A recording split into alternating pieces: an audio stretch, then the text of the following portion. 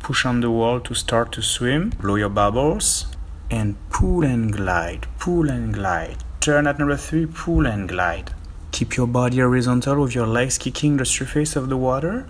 Move your elbows up, relax your shoulders, and roll your arms when you come back with your hands. Remember to cross your hands on the front of the water. When one hand is pulling the water, the other one need to glide forward and they alternate non-stop. Keep your arms relaxed, your elbows up and your hands down and breathe at number 3.